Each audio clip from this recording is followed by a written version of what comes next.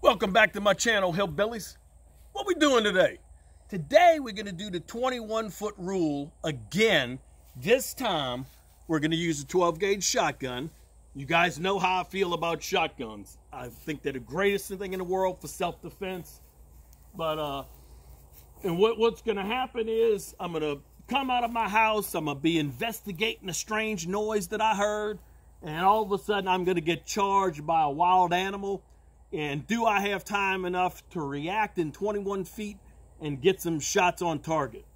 Anyway, let's find out what happens, guys. Are you ready?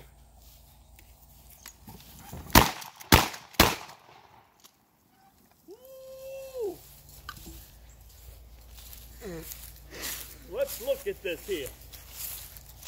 Hmm. Did we get some shots on target? Oh man, I do tend to always go a little bit to one side. But I'm going to tell you, I think I got three shots off. This is 12 gauge. Obviously, at 21 feet and a charging target, it doesn't have a whole lot of time to spread.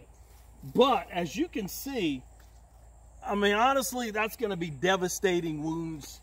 Um, anyway, I think a shotgun is fabulous. Thank you guys for watching my videos.